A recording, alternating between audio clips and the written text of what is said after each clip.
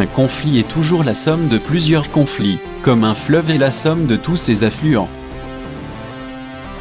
Pendant que Cafran s'efforçait à construire son roman forestier, construit selon un principe d'enchevêtrement, entrecroisement, ce qu'il appelait, assez pompeusement, une hyperfiction. Alexandra se débattait avec ses propres confusions.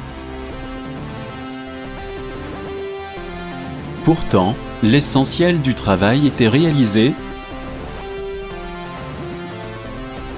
Cafran avait dans la tête le plan de son ouvrage qui se présenterait comme un état de confusion mentale, le roman policier de la confusion mentale. L'écrivain partirait alors des objets réellement perçus par le sujet, et il tâcherait d'en rendre une perception de plus en plus confuse,